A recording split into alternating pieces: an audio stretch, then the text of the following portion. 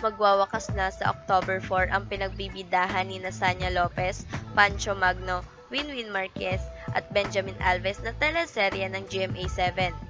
Sa panayam naman sa kanila ay natanong si Benjamin kung ano ang kanyang natutunan sa nasabing teleserye. You can't be sincere, but sincerely wrong, and you deserve a second chance, even if you don't deserve it. It's what you do with the opportunity that matters. At least, sa huli, nalaman ni Eldon ang perfect way para ipakita niya ang kanyang pagmamahal sa kanyang pamilya, sabi ni Benjamin. Tinanong pa muli ito kung ano naman kaya ang scene na hindi niya malilimutan, the revelation scene with Sanya. I could not have imagined a more fitting Mariel.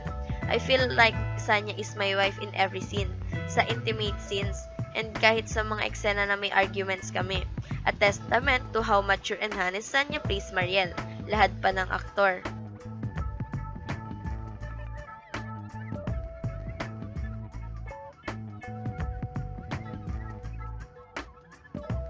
subscribe, share, subscribe.